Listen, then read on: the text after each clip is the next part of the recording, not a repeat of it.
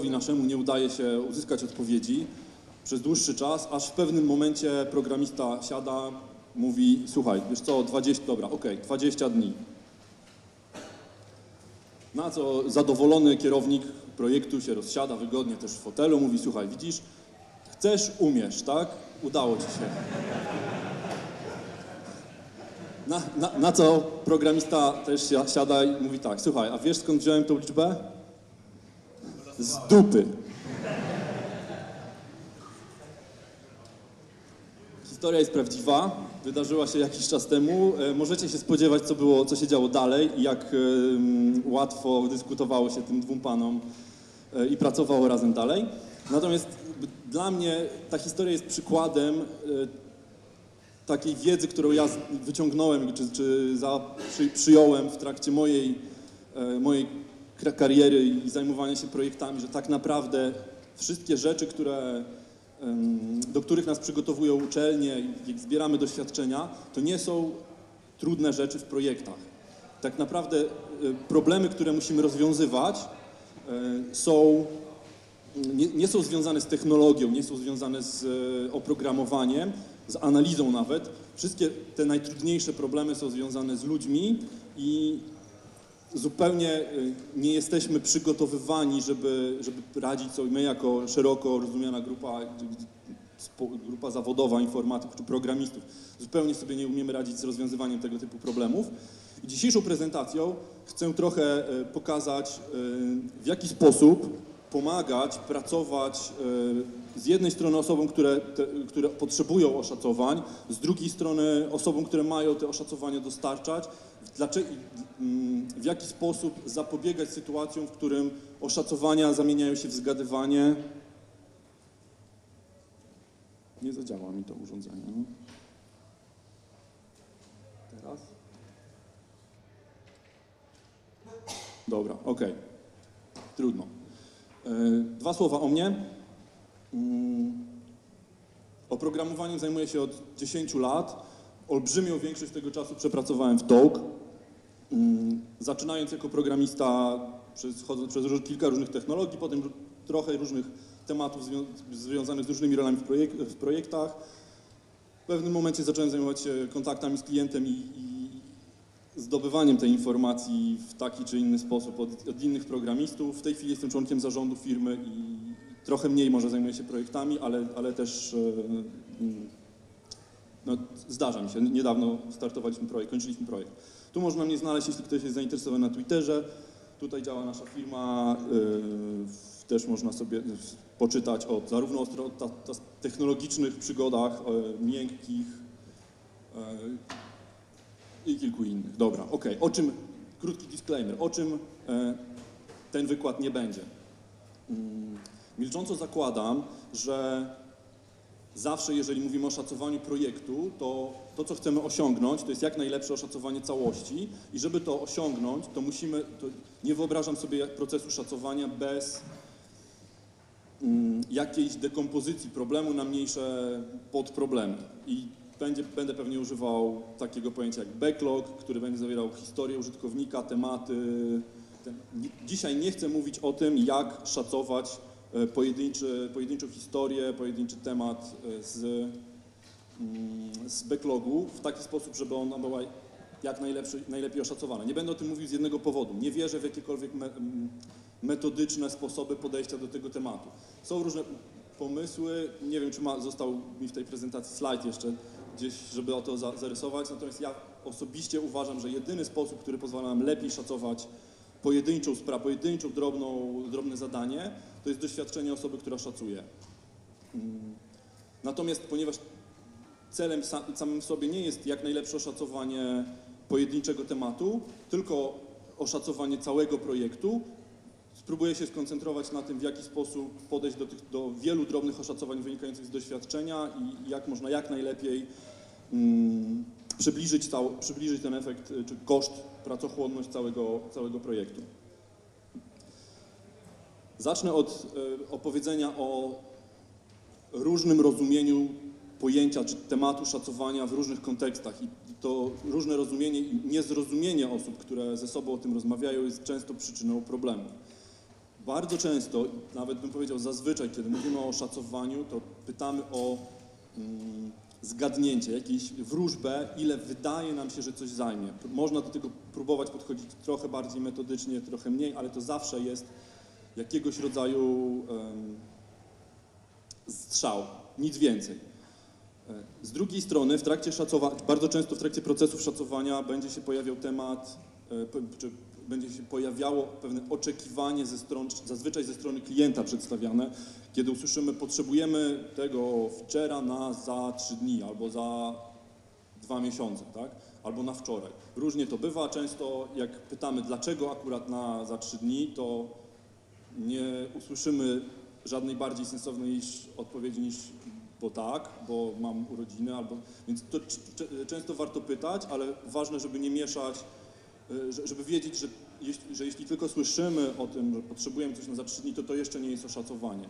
I można, to, to jest coś, co możemy wykorzystać do szacowania, więc nie, nie bójmy się słyszeć takich tematów. Trzecia sprawa to jest zobowiązanie. Mm, W pewnym momencie, kiedy powiemy, potrzebujemy na to trzy dni, może to zostać odebrane jako nasza obietnica, dostarczymy, skończymy pracę, cokolwiek by to miało nie być w, ciągu danego okresu czasu. I niezrozumienie tych trzech pojęć, tych trzech, tych trzech znaczeń, jak dla mnie było w dużym stopniu przyczyną problemów w historii, od której zacząłem. Z jednej strony kierownik projektu potrzebował mieć e, jakieś, jakiegoś oszacowania, czekał na strzał. Bardzo mocno programista obawiał się, nie, nie, wzbraniał się przed odpowiedzią, ponieważ rozumiał, że to, czego oczekuje od niego druga strona, to jest zobowiązanie się. To wcale tak nie było i jestem przekonany, że kierownik projektu potrzebował pierwszej, pierwszego strzału, żeby móc rozmawiać z klientem o jego potrzebach, o jego celach i jak bardzo, jak blisko jesteśmy realizacji e, oczekiwań klienta. Więc jeśli tylko by się udało em, dobrze zrozumieć niuanse w znaczeniu, to myślę, że do takiej sytuacji by nie doszło. Okej, jak często wygląda oszacowanie? To jest inna historia, która wydarzyła się miesiąc temu. E, miesiąc temu też u nas w firmie, w projekcie, którym się e, kończyłem zajmować, przejmował to ode mnie inny, e, inny kolega. Przyszedł klient, powiedział, słuchajcie, mamy tutaj takie, takie zmiany, to, to i to. Powiedzcie mi, ile to będzie nas kosztowało, ile pracy potrzebujecie, czy ile, ile dni potrzebujecie na realizację i odpowiedź na to pytanie potrzebuję e, do końca dnia. Trochę się poczuliśmy postawieni pod ścianą. No, zrobiliśmy tą wstępną dekompozycję, pozastanawialiśmy się co, jak, czy możemy jakoś sensownie odpowiedzieć i co powiedzieliśmy? 200. I- to jest realna odpowiedź, e, rzeczywiście to było, to było 200. I dlaczego akurat, e, dlaczego akurat e, tak? Zrobiliśmy tą dekompozycję, ponieważ dużo nie wiedzieliśmy. Wiedzieliśmy, że to jest duże, ale nie wiedzieliśmy nic o szczegółach, nie wiedzieliśmy, jakie, jakie pojawią się problemy. Wiedzieliśmy, że funkcjonalność się zmieni, na pewno się pojawi coś nowego, o czym jeszcze nie, ma, nie, nie wiemy. Dokład, tu pomnożyliśmy przez dwa, tam przez półtorej, tu dodaliśmy 15, wyszło 185, to już dla równości niech będzie 200. E, Na szczęście akurat w tym przypadku klient e, potrzebował tej liczby bardzo wstępnie, więc usłyszał 200, powiedział OK, gdzieś tam sobie zapisał, wysłał dalej, nie było problemu. E, Jednocześnie mm, zastanawiałem się, dlaczego jest tak, że potrzebujemy powiedzieć, dlaczego musimy podać jedną liczbę, tak? Dlaczego klienci, e, dlaczego klienci oczekują od nas, czy osoby, które czekają na te oszacowania, czekają na jedną, jed, jedną liczbę. I czy przypadkiem nie jest tak, że jedynym powodem to jest, e, albo dużym powodem jest to, że w moim drugim ulubionym kawałku oprogramowania, które istnieje, czyli w MS Project, pierwszy to jest MS Excel, więc drugim, drugim moim ulubionym kawałku oprogramowania mamy, jak zrobimy sobie WBS-a, tak, breakdown, break- Work Breakdown Structure, to musimy podać e, pracochłonność. Tam jest jedno, jedno pole, duration albo estimation, czy word, coś takiego, tak? I to jest jedna liczba. Jak bardzo ja bym się czuł bardziej komfortowo, gdybym mógł powiedzieć klientowi, słuchaj, nie wiemy, dużo nie wiemy, no to jest duże, więc 100 dni to na pewno zajmie, ale te 200 to trochę się asekurujemy, raczej tam nie dojdziemy. Jak, Co ja zresztą zrobiłem chwilę później, pomyślałem sobie, kurde, 200 to jest strasznie dużo czasu, to jest 10 osobom-miesięcy. Jeśli przez 10, jak pos- pos- weźmiemy przyzwoitego dewelopera, posadzimy go na 10 miesięcy, to można naprawdę fajną aplikację w tym czasie napisać. I sobie pomyślałem, że to może nie być tak, e, może się spotkać z pewnymi oporami. Więc chwilę później zadzwoniliśmy i powiedzieliśmy, dobra, słuchajcie, te 200 to jest naprawdę bezpiecznie i tam trochę podokładaliśmy, okej, okej, spoko, spoko, dobrze. Więc na szczęście klient to duża korporacja, więc to łykają. Ale jak, jak dużo bardziej e, pewni jesteśmy i komfortowo się czujemy, kiedy możemy coś takiego powiedzieć. Dobra, tutaj, e, okej, dobra. Dwa problemy, które pojawiają się, kiedy, a tak naprawdę trzy, które się pojawiają, kiedy buforujemy e, pracę, czyli dokładamy jakieś tam bufory do, do, do szacowań. Są dwa główne problemy. E, Pierwszy z nich to prawo Parkinsona. Wszyscy wiedzą, czy ktoś nie wie? Dobra, prawo Parkinsona albo reguła, nie do końca może jest to udowodnione, ale za, zaobserwowano, że jeżeli damy programiście zadanie do zaprogramowania i powiemy, że ma na nie 3 dni, jakie jest prawdopodobieństwo, że skończy je po dwóch? Jeżeli się okaże po jednym dniu pracy, że idzie mu całkiem dobrze, to zajmie się e, poprawianiem kodu, refaktoringiem, dodatkowymi testami, to fajnie, albo e, trochę więcej czasu będzie spędzał na piłkarzykach, albo mm, jak dla mnie ta za Parkinsona w dużym stopniu odpowiada, mm, odpowiada fizycznej zasadzie, że gazy wypełniają nam całą dostępną powierzchnię. Więc jak dajemy komuś dużo czasu, to, y, to zużyjemy ten czas na, na pracę i będziemy uważali, że cały czas pracujemy, jesteśmy zajęci. Y, I to jest jakaś y, powtarzająca się zależność, o której słychać ze wszystkich źródeł. Tak? Duże firmy mogą sobie pozwolić na, na dokładanie tych buforów i, i tak dalej, natomiast y, tak czy inaczej zużywają ten cały czas. Druga sprawa, syndrom studenta.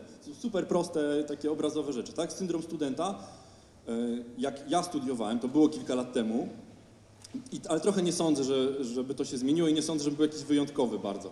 Jak miałem do, do przygotowania pracę zaliczeniową, semestralną, na grudzień i jest październik. Kiedy się za nią zabrałem? Nie w październiku, nie w listopadzie, tylko wtedy, kiedy już, kiedy już tak wewnętrznie czułem i wcale nie robiłem jakiegoś oszacowania, kiedy miałem wewnętrzne poczucie, że to już jest ten ostatni moment, kiedy, kiedy już muszę, żeby zdążyć, albo troszeczkę później jeszcze, i, ale to zazwyczaj drobny, po, drobny poślizg to nie, jest pro, to nie jest duży problem. Zazwyczaj. W, w pracy zawodowej, przynajmniej w naszym kontekście, też tak jest. Okej, dobra, trzecia sprawa, ym, która się tutaj pojawia, z dokładaniem tej rezerwy do każdego zadania, wydłużaniem oszacowań, jest tak, y, y, pojawia się wtedy, kiedy y, musimy wykorzystać oszacowanie do ofertowania, do złożenia oferty, do podpisania umowy. Y, Czasami to nie jest problem, kiedy jesteśmy jedynym ofertującym. I tak czasami się zdarza, w przetargach publicznych często jest tak, że i nie tylko w informatyce, że jest tylko jedna firma w Polsce spełniająca wymagania. Więc e, to się czasami zda- zdarza. E, e, natomiast zazwyczaj, pewnie w kontekście wielu z Was też tak jest, że konkurujemy z innymi firmami. Więc jeżeli w naszym oszacowaniu podokładamy tutaj dodatkowe dni i tam, no to będziemy niekonkurencyjni tej oferty czy danego przetargu nie wygramy. Dobra. Zostawiając problemy, jest kilka, tem, kilka pomysłów, kilka zasad, który, do których, które znowu może nie do końca są zasadami, ale ponieważ ja lubię mieć uporządkowane podejście do, do różnych tematów, przynajmniej do niektórych, to, mm, to możecie to je traktować jako zasady Tołk albo Piotrka Burdyło. Dobra, okej, pierwsza sprawa. E, Jakbym was zapytał, czy tutaj, czy w tym pojemniku, czy w tym mieści się więcej płynu? Albo tak.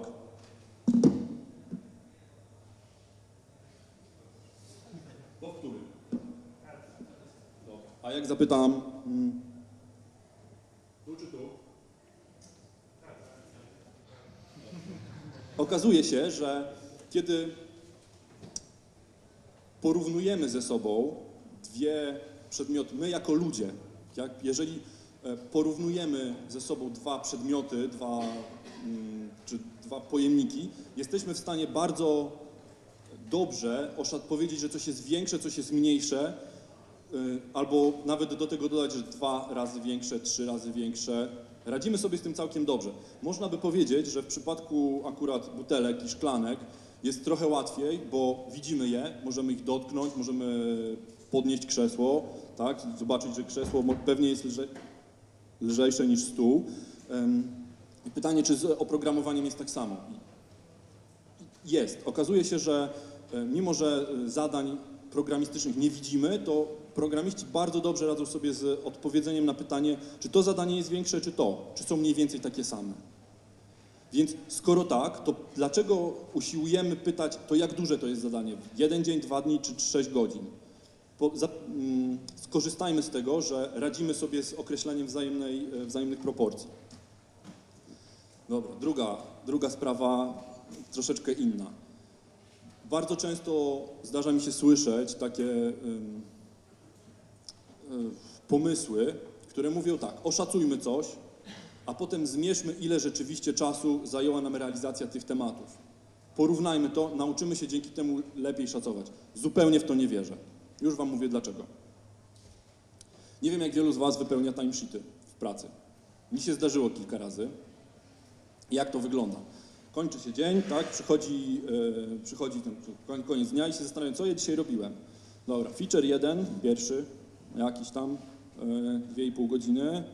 Potem yy, mieliśmy spotkanie godzina, potem obiad, potem projektowaliśmy, to tu godzina, potem drugi feature. Do, dobra, okej. Mm, Siedem i pół godziny. Mm, dobra, to ten feature pierwszy to trzy godziny. To brzmi, brzmi znajomo? Dobra, a teraz powiedzmy sobie szczerze, kto mówi tak, dobra, koniec dnia, e, to wypełniam timesheeta. Hmm. Znam kilka takich osób, ale jednak zazwyczaj słyszę tak, 30 czerwca, o, co ja robiłem 2 czerwca? Z 1 czerwca, tak. Czasami jest prosto, bo wychodzi, że 1 maja to, to jest święto, więc łatwo, tak, ale... I, I teraz sorry, ale jeżeli ktoś mi mówi, że na podstawie tego typu e, timesheetów albo raportów jest w stanie e, powiedzieć, że dobrze szacuje, to było dobrze oszacowane, to było źle, to inna historia z tego samego zakresu, jakby z obszaru. Wypełniliśmy już tego timesheeta i w pewnym momencie przychodzi nasz project manager albo jakiś kontroler i mówi tak, zadanie pierwsze, miało być 8 godzin, a tu wpisałeś tak, tego dnia 4, tego 4 i tego jeszcze jedna. 9. Uuu. I co, I co myśli programista? Kurde, no czemu nie wpisałem tej godziny gdzieś tam do innych? Znowu mam nadzieję, że brzmi znajomo, tak? Że nie jesteśmy jacyś dziwni w tej kwestii. Dobra. Dodatkowo tego typu działania, jak mierzenie czasu, stymulują zachowania, które są, albo stymulują, może mm, stymulują to może jest złe słowo, ale nie do końca zachowania, które chcemy e, stymulować, się dobrze, dobrze pasują do takich timesheetów. Wyobraźcie sobie sytuację, kiedy pra, pracuje dwóch ko- kolegów obok siebie w jednym zespole i jeden z nich mówi, tak odwraca się i mówi, słuchaj, mam problem, spójrz tutaj, pomóż.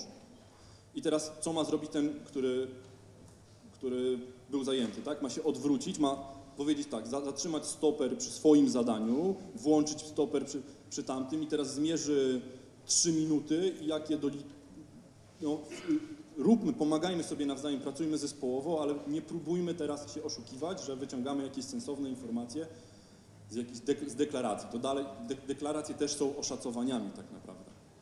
Dobra, mam nadzieję, że Was przekonałem. Mało czasu, więc idziemy dalej.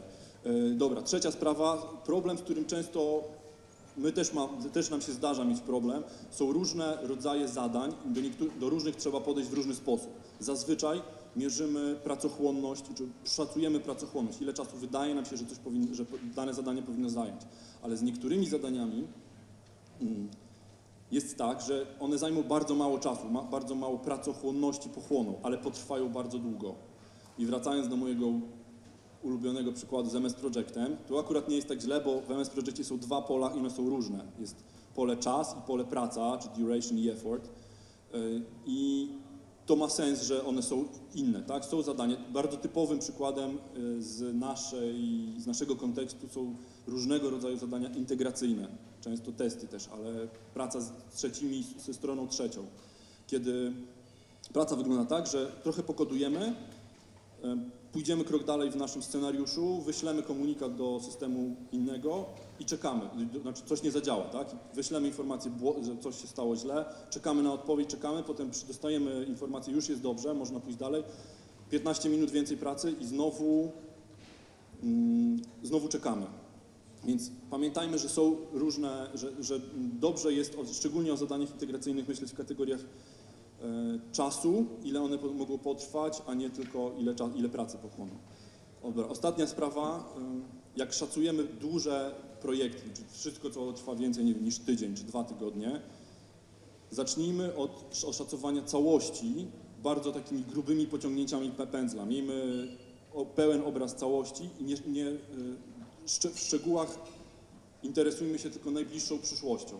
To, co będzie za 2-3 miesiące czy pół roku, po pierwsze, może wylecieć z zakresu, na pewno część wyleci, na pewno część się zmieni, e, a przede wszystkim nauczymy w trakcie tych pierwszych e, dni czy tygodni pracy, nauczymy się na tyle dużo, że te oszacow- pierwotne oszacowania będą bardzo szczegółowe, będą nieaktualne. Dobra, troszeczkę mięska, znaczy po to, po co jest ten wykład. Ok, jak szacujemy w talk? Tutaj mały disclaimer, nie wiem czy jest ktoś z Tołka, widzę kogoś. E, To, że mm, ja mówię, że szacujemy tak w Tołk, to nie znaczy, że tak jest. E, Mamy duży pod... w dużym stopniu dlatego, że e, w tej firmie niczego, nic nie, nie jest narzucone. Każdy robi to tak, jak uważa i ja nawet jakby z pozycji zarządu i tak tylko mogę zaproponować i przekonywać, że coś jest pomysł, więc są osoby, które tak nie robią. I, i nie jest jakiś problem. Dopóki są szczęśliwe, to, to ja też jestem szczęśliwy. Dobra, Fitalk, trochę firma, która dużo stara się czerpać z Agile, e, więc, więc e, zasta- zastanowiliśmy się w pewnym momencie, co takiego jest w manifestie, co możemy wykorzystać do, e, do szacowania. Czy ktoś nie wie, co to jest manifest Agile, bo najchętniej bym przeskoczył ten temat, ale jeśli ktoś, jest, jest ktoś, kto jeszcze nie wie, jest taki ruch, który wśród prezenterów, który mówi no more Agile Manifesto slides. Już jest ich za dużo. Czy ktoś nie pamięta zasad? Dobra, okej. To szybko przelecimy. Leci, dobra. Są cztery zasady. W, tak, powiem o jednej, bo, bo jedna jest najważniejsza. Znaczy, albo może nie najważniejsza. W każdej z czterech można się doszukiwać jakichś informacji czy wartości, które, które coś nam mówią o szacowaniu, ale ja osobiście wierzę, że w tej jest najwięcej. Ludzie, interakcje ważniejsi niż procesy i narzędzia. Z tej zasady ja wyciągnąłem dwie, e, dwie sprawy. Po pierwsze, szacujemy zespołowo.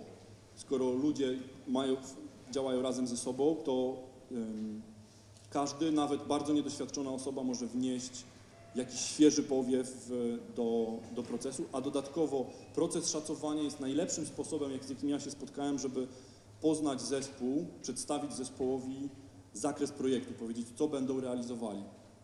Mm, Więc to- jest jedna sprawa. Druga sprawa, szacują te osoby, które rzeczywiście będą wykonywały pracę. Żeby nie było tak, że przychodzi pan architekt mówi mm, mm, tu pięć dni, tu trzy. To staram się, żeby programiści, którzy rzeczywiście będą pracować, to nie zawsze się udaje, ale tak y, zawsze to jest punkt wyjścia, żeby to te osoby szacowały. Dobra. Planning poker. Ktoś nie wie, kto to jest planning poker? Dobra, bardzo fajnie, że aż tak mało, więc szybko, po, szy- szybko ym, postaram się szybko to powiedzieć. Planning Poker jest pewnym narzędziem, które działa, wygląda tak, że wszystkie osoby, które będą szacować, dostają zestaw kart z liczbami. Jest jedna osoba wyróżniona, która wie, co będziemy szacować, no bez od tego nie uciekniemy. Osoba, która wie, co szacujemy, opowiada o jednej funkcjonalności, krótko, i wszystkie osoby szacujące wyciągają ze swojego zestawu kart jedną kartę kładą ją zakrytą przed sobą i to, że jest, ta karta jest zakryta jest istotne, żeby mm, nie sugerować innych. Jak już się wszyscy zdecydowali, odkrywamy karty, porównujemy je. Jeżeli jest, e, wszyscy powiedzieli to samo, albo ten zgodno, e, poziom niezgodności jest niewielki, to, to super, idziemy dalej. Najciekawsze sytuacje to wtedy, kiedy bardzo się nie zgadzamy. Ktoś powiedział dużo więcej albo dużo mniej, to znaczy, że zakładając, że nie jest głupi albo nie torpeduje nam procesu, to że albo coś wie ciekawego, albo czegoś nie rozumie, albo zna jakąś technologię. Generalnie to jest pod, podstawa do dyskusji. Więc tak robimy. Yy, dobra. Te liczby coś przypominają? Tak? Ciąg Fibonacciego. Nie bez powodu na, w planie pokerze wykorzystuje się ciąg Fibonacciego plus jeszcze kilka dodatkowych liczb, które nam to jakoś bardziej z obydwu stron dopełniają. Yy, I motywacja jest taka, znowu, dla, jeśli ktoś jeszcze nie usłyszał, ale co chwilę spotykam kogoś, kto, kto nie wie dlaczego, więc może to powiem. Mm, y, Staramy się osiągnąć y, pewność kosztem precyzji. Tak? Nie jest specjalnie istotne, czy to się szacujemy na 7 czy na 8, różnica jest bardzo niewielka, ale przez usunięcie pewnych możliwości, tutaj czwórka jest bardzo często słyszę, a fa- chciałbym 4, ale nie mogę, bo nie mam karty. Albo szóstka, to takie dwa najbardziej typowe przykłady. 10 jeszcze jest też stąd takim e, przykładem liczby. Mm, Przez usunięcie tych liczb zmuszamy do zastanowienia się, czy to jest raczej większe, czy raczej mniejsze, wyraźne granice. Jakbyśmy się zastanawiali, czy ten kubek jest większy, czy ten jest, czy ten, one są dosyć podobne. No trochę jest, tak, widać tą różnicę, ale im bardziej wyraźne różnice, tym łatwiej nam jest powiedzieć, czy, czy kategoria pierwsza, czy kategoria druga. Można zamiast liczb Fibonacciego wykorzystać e, potęgi dwójki i mówi się o tym dosyć dużo, ale osobiście nigdy nie widziałem, żeby ktoś tak zrobił. W dużym stopniu pewnie dlatego, że takie karty można kupić. Albo taki zestaw, albo taki zestaw. My w TOłk mamy jeszcze inny e, nie widziałem nigdy zestawu z potęgami dwójki.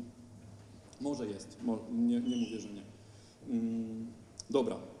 Tak szacowaliśmy dosyć długo. Zaczęliśmy, kiedy wdrażaliśmy Scrama, szacowaliśmy tak przez pewien czas.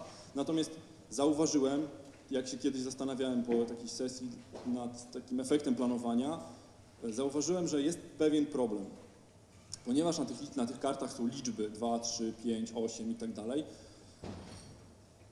tracimy em, dużo osób, które, które szacuje, ma tendencję do głębokie, głębszego niż ja bym oczekiwał dekomponowania danego, danej historii i, na, i ktoś się zastanawia, dobra, to tu trzeba w bazie danych dodać tam trzy kolumny, e, trochę zmienić domenę, potem dwa, dwie formatki, to tu cztery godziny, tak, w sumie, dobra, to dwa dni. Okay? Dużo bardziej bym e, chciał, żeby skorzystać z tej zasady numer jeden, o której powiedziałem, szacujmy w sposób, w jaki ludzie sobie radzą najlepiej, czyli porównujmy. Starajmy się zastanawiać, czy to zadanie jest takie jak podobne do innych dwójek, czy jest bardziej podobne do trójek, czy może jeszcze większe, a nie czy dekomponujmy i, i na tej podstawie, jak się sumuje do trzech, to wyjdzie, że trzy. I to przywiązanie do liczb jest tak bardzo mocne, że w pewnym momencie powiedziałem, musimy od tego odejść. Jest pewien pomysł, jak to zrobić, też dalej w, na orbicie planning pokera i wygląda tak. Tu mamy amerykański zestaw kart, gdzie mamy XL, 2XL, 3XL, 4, tak? No, my kiedyś mieliśmy takie podejście, mieliśmy XXS, XS, po- poważnie. poważnie. Mm, Natomiast to, to mogłoby zadziałać, natomiast nie z tym zestawem, bo tutaj ciągle mamy liczby. Więc znowu nigdy nie widziałem e, w ofercie w internecie dostępnego do kupienia zestawu z samymi literkami. W związku z tym, żeby nie zmieniać osób, które szacują, tylko raczej dostosować procesy do, do ludzi, pomyśleliśmy w pewnym momencie, czy nie można zrobić tego inaczej. I doszliśmy do takiego momentu, do, do takiej metody, którą w tym momencie ja promuję jako taką najbardziej mi, mi pasującą do, do wartości agile'owych i do sposobów, w jaki ludzie sobie najlepiej radzą. Dobra. Pomysł jest prosty i dużo w tym nim odkrywczego nie ma, tym niemniej nie spotkałem się z nim nigdzie wcześniej, więc o nim opowiem. Mm. Potrzebna jest do niego tablica. To jest akurat flipchart i flipchart ma tendencję do tego, że jest troszeczkę za mały. Dużo lepszy jest whiteboard, taki poziomy. Mm. Potrzebujemy karteczki i ludzi, to jest wszystko, jej flamaster i, i to jest wszystko, czy postity. Mm. I polega to, zabawa jest prosta. Dalej mamy osobę, jed- jedną osobę, która wie, co będziemy szacować. Ta osoba opowiada o pierwszym, pierwszej historii i to robimy prosto. Przyklejamy karteczkę na, na środku i, i już. Mm. Przy drugiej możemy już zadać ciekawe pytanie, czy ta druga historia jest większa, czy jest mniejsza od tej pierwszej. przy trzeciej robi się jeszcze bardziej ciekawie i tak dalej. I to kontynuujemy. Długo nie rozmawiamy. To pozwala nam zamienić tablicę, wypełnić, to, są realne zdjęcia z prawdziwego szacowania sprzed trzech miesięcy mniej więcej. Dochodzimy do takiej tablicy, bardzo się cieszę, pocieszyłem w pewnym momencie, jak zobaczyłem, że to zdjęcie w, moją ręką wyszło mi trochę zaobfuskowane, więc mogę je pokazywać, żeby nie było wiadomo, co szacowaliśmy. Mm. Doszliśmy do takiej tablicy. Ta sesja zajęła nam 4 godziny, więc uważam, że jak na oszacowanie dużego projektu na 8-10 miesięcy, to jest całkiem ok. Tu jest 120 historii. Yy, Nie ma zdjęcia ostatniego etapu, który mówi, że jak już mamy wszystkie te karteczki, to musimy wprowadzić, wprowadzić kategoryzację. Więc w tym momencie zapraszamy zespół do tablicy i prosimy ich o postawienie kilku kresek. Akurat w tym przypadku poziomych. Aku- Tu mamy na górze są rzeczy małe, na dole są rzeczy duże. Prosimy ich o postawienie kreski, gdzie powiemy, że wszystko, co jest wyżej, jest mniejsze, wszystko, co jest niżej, jest większe. I ujednolicamy, utożsamiamy ze sobą jakieś zbiory historii. Akurat na tej tablicy tych em, kategorii było 8 albo 9, już nie pamiętam tak dobrze. I często jak mi się zdarza o tym opowiadać, to się pojawia wątpliwość, czy to przypadkiem nie jest trudne zadanie, czy w tym, w tym miejscu nie ukrywamy całego szacowania. Właśnie tak nie jest, bo cała skomplikowana robota została zrobiona wcześniej pojedynczo dla każdej historii. Wszystkie wysoko są małe, a nisko są duże. I teraz musimy się zastanowić tylko nad kilkoma historiami, które są gdzieś na krawędzi, bo wiemy, że ta kreska będzie gdzieś tu. Mamy tylko dwie, trzy, pięć czasami e, punktów, nad, nad którymi się musimy zastanowić. Koniec końców przenosimy wszystkie te kategorie, nakładamy na to liczbę Fibonacciego i mówimy, że na górze są 1, 2, 3, to jest trywialna sprawa i przenosimy to do, w naszym przypadku do Google Docsów, bo magia Excela jest wielka y, i dużo łatwiej w Excelu policzyć, że w sumie wychodzi 950. Dobra, i tyle. Pojawia się pytanie, co dalej e, zrobić z tą liczbą. Dosta do, nie pamiętam dokładnie końcówki, ale wyszło w tamtym projekcie wyszło nam 950. Co, co to jest ta liczba? Po co ją możemy wykorzystać? Są, ja widzę dwie zasadnicze możliwości. Pierwsza jest dużo fajniejsza, druga jest gorsza. E, ta fajniejsza jest taka. powiedzmy sobie, że zaczynamy to implementować. Weźmy pierwsze, najważniejsze kilka historii. Po pierwszej iteracji, po pierwszym tygodniu, powiedzmy, zrobimy dwie trójki, piątkę, jedynkę i dwójkę. I w sumie wyjdzie nam 17, czy jak nam to się sumuje. W drugim tygodniu dostaniemy 19. Po dwóch tygodniach będziemy wiedzieli, jak szybko podróżujemy, jak, e, e, jaką mamy prędkość i będziemy, będziemy mogli powiedzieć, że cały projekt jest oszacowany na, wychodzi nam na 20 w tygodniu, to 950 przez 20 tygodni. Nic, nic y, jakiegoś odtwórczy, w- twórczego, tak? Standardowy sposób z mm, prędkością, z prędkością ze Scrama chociażby. E, Niestety, tak fajnie nie, nie jest zawsze, bo czasami potrzebujemy tej liczby do podpisania, do, do złożenia oferty albo podpisania umowy. Kiedy klient oczekuje od nas, a czasami niestety oczek- to jest wymaganie, które, z którym nie możemy wygrać, potrzebujemy po, zamienić te 950 punktów na ileś dni.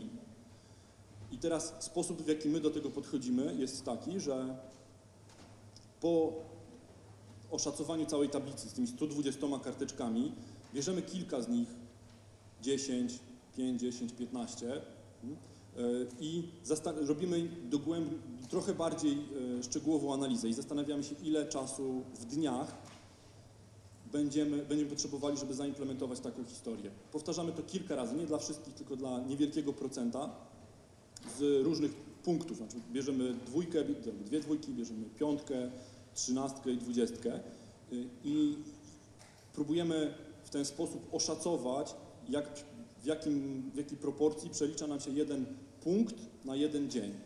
W tym przypadku to zrobiliśmy, wyszło dwie trzecie i byliśmy w stanie powiedzieć coś, ile dni mamy na tablicy. Ile dni, ale jest, pojawia się pytanie, dni na co? To też jest ważne, żeby sobie to uświadomić. Dobra, pewnie coś wszystkim to przypomina. Nie, Miejsce, z którego chcemy uciec, ale chcą, y, to, że chcemy, nie znaczy, że jesteśmy w stanie. I z naszych obserwacji to, co szacujemy, to, co nasi programiści szacują, spodziewam się, że to jest jakaś ogólna zasada i wszyscy, wszyscy tak mają, szacujemy, ile czasu potrzebujemy, żeby coś skończyć, Czyli powiedzieć, ok, skończyłem. To w jakimś stopniu zahacza nam o definition of done z różnych agile'owych metodyk, ale dalej, czy to jest wszystko, czy to są wszystkie prace, które są ko- konieczne, żeby zrobić projekt? Niestety nie. I to, że robimy krótkie iteracje, to nie znaczy, że nie będziemy mieć takich waterfallowych em, projektów, albo że uciekniemy od zrobienia analizy projektu i tak dalej, i tak dalej. A do tego jeszcze nam dochodzi kilka rzeczy, takich jak, nie wiem, pisanie dokumentacji i wiele innych. No i teraz się pojawia pytanie, jak te nasze 600 dni, 950 punktów, 600 dni przeliczyć na, mm, na całość. I my do tego podeszliśmy znowu bardzo prosto. Podeszliśmy tak, że mamy tabelkę. Historia tej tabelki jest też e, interesująca. W pewnym, chyba mamy trochę czasu, więc to może opowiem.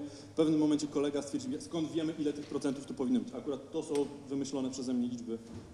Może poza tym, że 30% przy kodowaniu to jakoś jest zgodne z naszą intuicją, tylko 1 trzecia poświe- te 950 to jest tylko 1 trzecia rzeczywistego wysiłku w projekcie, mniej więcej.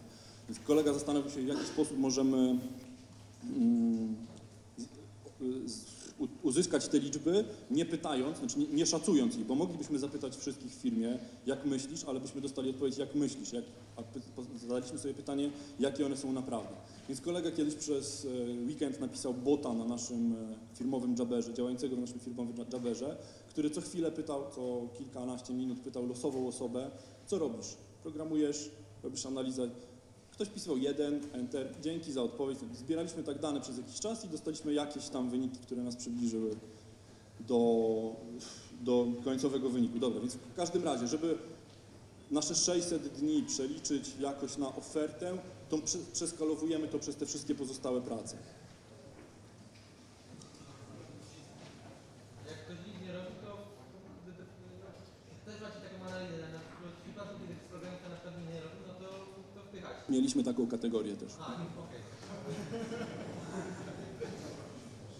Kubek. Kubek czy wyjściówka na spoinę? Czy do spoiny?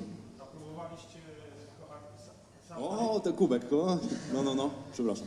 próbowaliście architekt, żeby sam architekt wyceniał czy deweloper? Nie, nie.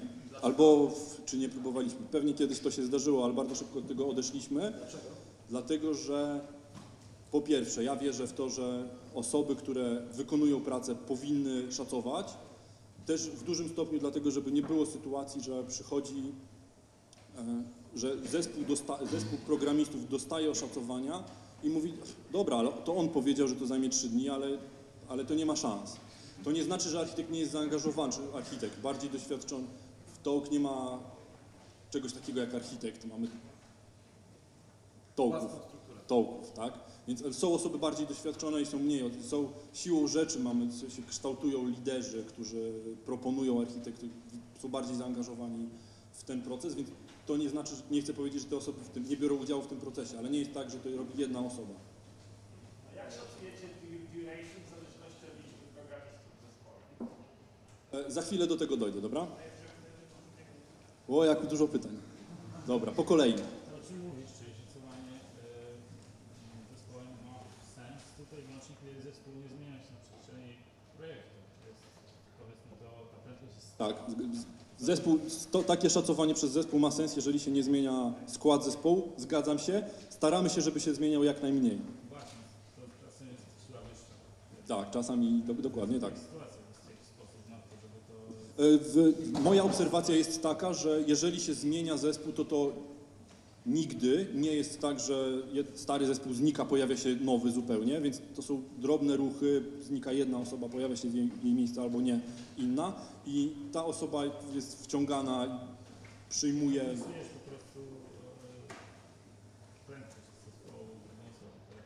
Tak, to, to, to super sprawa z Velocity, ze Scrama, czy z in- innymi podejściami, które mierzą, jak szybko coś dostarczamy, jest to, że to jest samo, e, samo regulująca się metryka. No, Po, po kolei, jak to, bo, okej? Okay? E, To rozumiem, że to chodzi o szacowanie kodowania, a jeśli jest zapytanie kluczowe o analizę, to jak oszacować coś takiego? No bo tam nie ma user story, tak? E, Jak do tego podchodzicie? Dobra, muszę się zastanowić. Nie, nie szacujemy, nie, przypominam sobie, żebyśmy kiedyś robili projekt, który się sprowadzał do analizy, tylko chyba zawsze to jest tworzenie rozwiązania. My się zajmujemy tworzeniem rozwiązań, ale, ale to, to jest jakiś ciekawy pomysł, ale nie mam gotowej odpowiedzi na to. Tak, czasami to, się, czasami to się zdarza, chociaż akurat w naszym kontekście raczej taka pierwsza analiza jest robiona przez siły wewnętrzne y, u klienta. Y, nie, nie, wydaje mi się, że to też, że, że dalej taką analizę można jakoś oszacować i zdekomponować, na, ale znowu nie, nie mam gotowej odpowiedzi.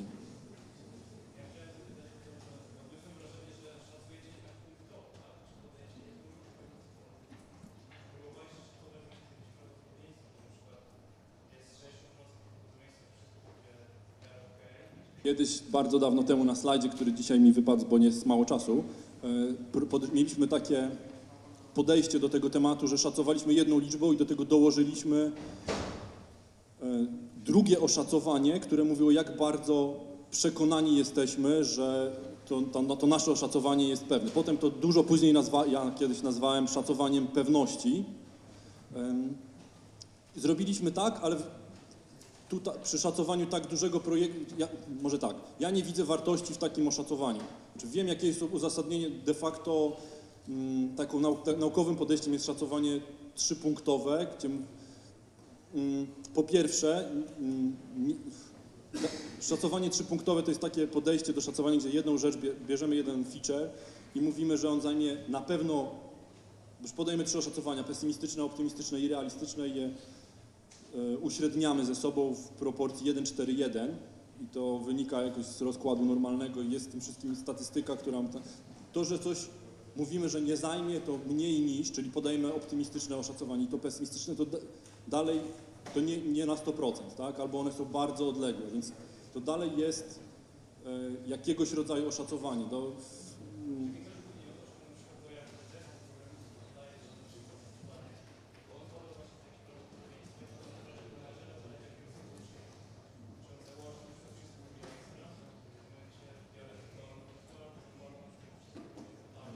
Przede wszystkim e, z mojego doświadczenia wynika, że to, e, że jedno zadanie gdzieś będzie wyjątkowo dużo czasu zajmie, to się uśrednia w całym projekcie. Tego typu problemy są też adresowane przez to, że porównujemy zadania, mówiąc większe, mniejsze i zadania, do których nie rozumiemy, siłą rzeczy mają tendencję do, do bycia większymi, tak, przez sam fakt niepewności. E, każdy chyba, każdy kolega czy koleżanka, z którymi szacowałem, tak działał, że jeżeli czegoś nie rozumiał i było wiadomo, nazwaliśmy sobie to, czego nie rozumiemy, to, e, to siłą rzeczy to oszacowanie było wtedy większe, czy niżej przyklejaliśmy tą karteczkę.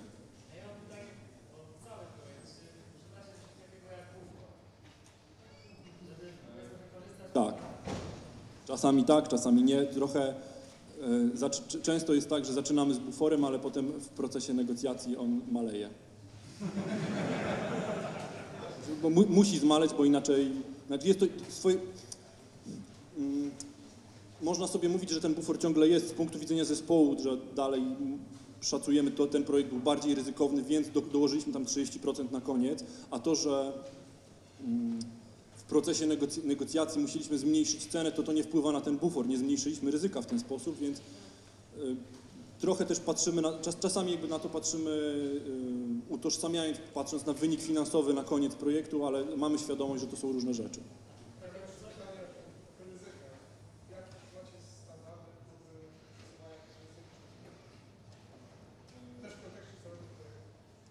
Nie.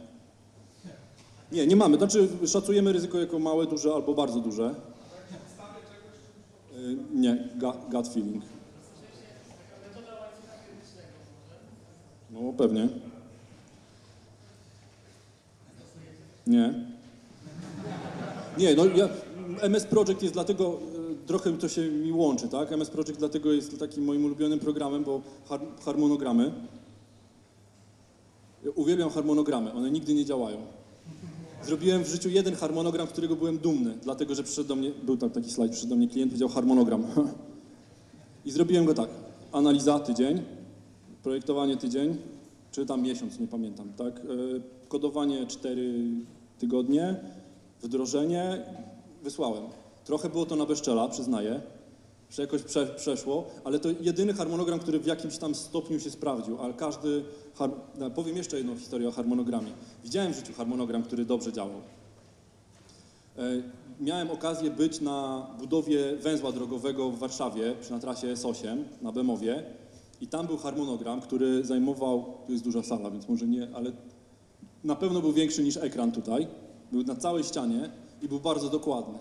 I super działał. Widziałem, że tam jest napisane, dobra, teraz bierzemy tutaj, tu kopiemy dół, przewozimy ziemię tu, potem tu coś składujemy, zalewamy. To, to działa, ale w informatyce ja nie wierzę w harmonogramy. No, Uważam je trochę, pr- prace, one się zajmują, zrobienie harmonogramu szczegółowego zajmuje bardzo dużo czasu, i, a bardzo mało czasu zajmuje zdezaktualizowanie tego harmonogramu, więc po co to robić w ogóle?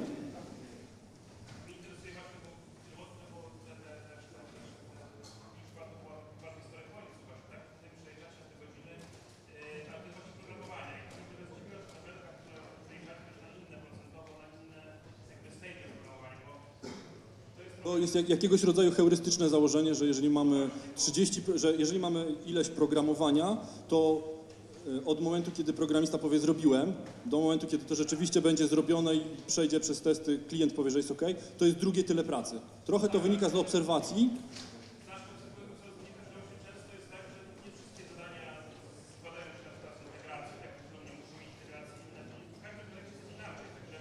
Tak, czy- okej, okej. E, Ta tabelka, którą tu pokazałem, jest inna w zależności od projektu. Ten, czasami jest tak, że w ogóle nie ma integracji, a czasami wiemy, że ten projekt to jest tylko integracja.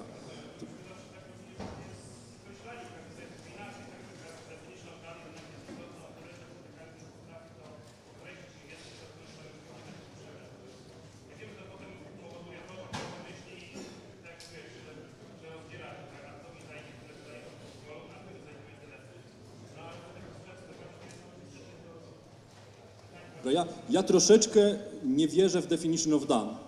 To znaczy, może dlatego, że nigdy nie widziałem, żeby to zadziałało, to nigdy nie, spo, nie, nie brałem udziału w projekcie, kiedy jeżeli programista rzeczywiście mówi zrobiłem i to spełniło definition of done, takie ustalone przez zespół wcześniej, to, to już był koniec pracy z danym tematem, bo w momencie, kiedy się pojawia klient, to, na, to, to gdzieś tam się pojawiają, dopiero wtedy to jest tak naprawdę zaczyna być dobrze przetestowane, dużo się dodatkowych definicji pojawia. Dla mnie definition of done jest e, środkiem zapewnienia technicznej jakości przez zespół. To znaczy zespół sam sobie mówi, kiedy, co musimy osiągnąć, na przykład, nie wiem, pokrycie testami, albo e, code review, albo e, peer review funkcjonalności, że wtedy, wtedy się podpisujemy, że to zrobiliśmy, ale jeszcze ze świadomością, że wrócimy do tematu.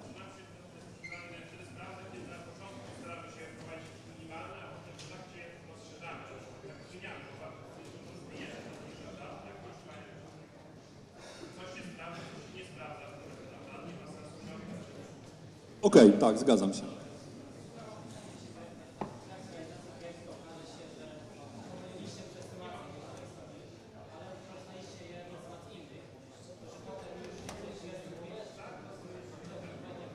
Zdarza nam się tak.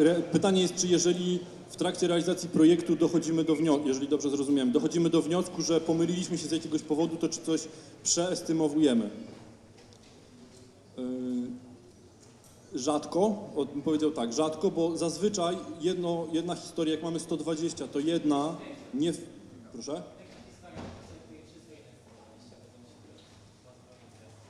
Jeżeli wykorzystujemy całe to oszacowanie wykorzystujemy do dwóch rzeczy. Po pierwsze, zazwyczaj musimy do oszacowania, do, do złożenia oferty i jeżeli się okazuje, że pierwsze źle oszacowaliśmy, ale już złożyliśmy ofertę, to trudno, tak? Trochę nasze ryzyko, więc jakby pod tym względem nie ma po co. Drugi, po, dru, drugi cel, do którego możemy wykorzystywać to oszacowanie, te 950 punktów, jest do mierzenia prędkości. I tu nie możemy źle oszacować. Znaczy, jeżeli pierwsze oszacowaliśmy źle i ono zajęło dwa razy więcej czasu niż myśleliśmy, to po prostu będziemy mieć dwa razy niższą prędkość i do, też będziemy wiedzieli, w którym miejscu jesteśmy, jak szybko się poruszamy. Więc e, jedyna rzecz, która by powodowała, że trzeba coś przeszacowywać, jest jeżeli e, dochodzimy do wniosku, że mamy zaburzone proporcje między zadaniami, tak? I nie przypominam sobie, żeby to się zdarzyło. Znaczy to się zdarza tak punktowo, w sensie, że tym zadaniem, z tamtym, ale z dwoma machamy ręką, tak? To rzadko jest tak, że nagle połowę musimy przebudować. Rzadko też robimy projekty, gdzie bardzo mało wiemy od technicznego punktu widzenia, więc ym, to, to, to rzadko są takie eksperymenty technologiczne, tylko wiemy mniej więcej jak, jak będziemy kodować.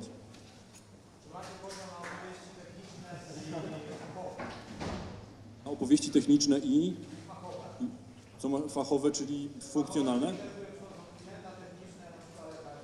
Tak. Mamy.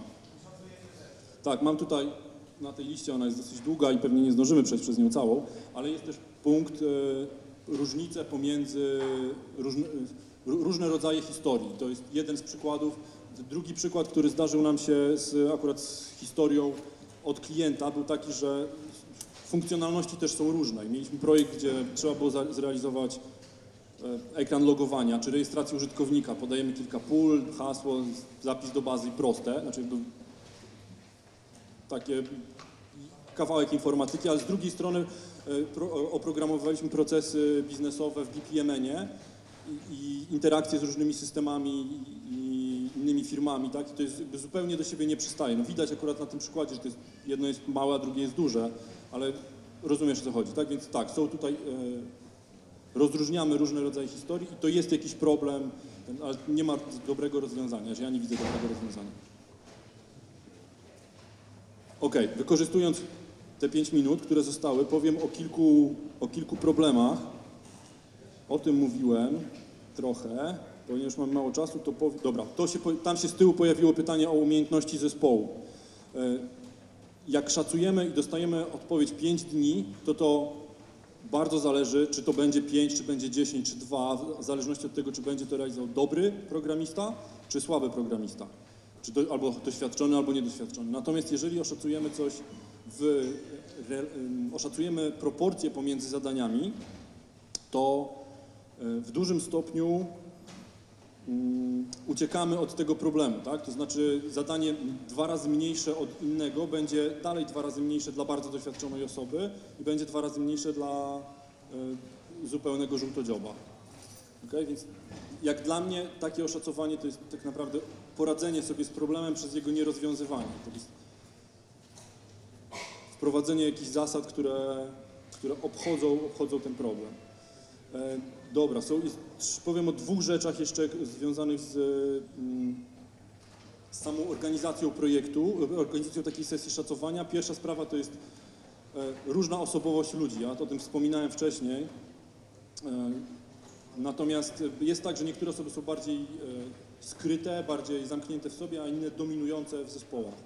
Jeżeli, jeżeli tylko zależy nam na udziale wszystkich, to możemy, to powinniśmy stymulować udział też tych osób zamkniętych w sobie. Coś, co ja kiedyś zrobiłem i zadziałało bardzo dobrze, to jest em, przyklejanie tych karteczek na tablicy w takim prostym round robinie. Po kolei każdy dostawał jedną, przyklejał i wszyscy pozostali w momencie przyklejania milczeli. Dopiero potem krytykowali albo się zgadzali, albo nie.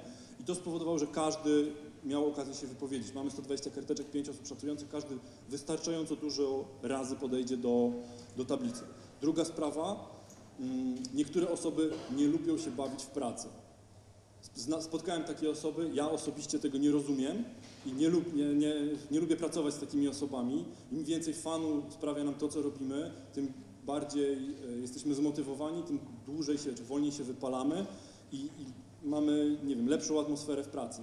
Miałem taką osobę w zespole, mogę powiedzieć, że już teraz u nas nie pracuje. E, dobra, umowa, koniec. E, I zamykając, pierwsza rzecz, software tworzą ludzie i to problemy z ludźmi są trudne do rozwiązania, ale nie zmienimy ludzi, przynajmniej to jest moje doświadczenie, nie zmienimy ludźmi, ludzi, e, budujmy procesy tak, żeby ułatwiać pracę tym ludziom, którzy są.